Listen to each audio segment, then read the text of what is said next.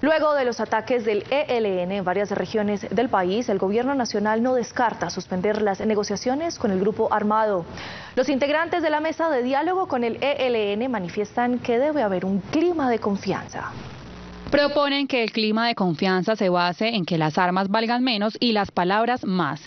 Pese a que no se ha firmado un cese al fuego y hostilidades, el espíritu que desde luego hay que crear es de confianza, porque además durante este proceso se ha planteado la necesidad de ir implementando los acuerdos que se van haciendo.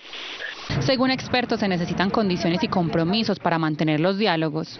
La posibilidad misma de que la sociedad civil se vincule adecuadamente a un proceso de negociación debería pasar por un compromiso del ELN de reducir las acciones bélicas y de hacer un cese de sus hostilidades. El gobierno nacional se mantendrá encaminado en la paz total. Que si abrimos las puertas de la paz no es porque somos flojos, no es porque nos asustamos, que no confundan, sino que queremos ahorrarle a la sociedad colombiana muertos. El presidente anunció que su gabinete ministerial se transformará en un gabinete de la paz para buscar soluciones más rápidas al conflicto.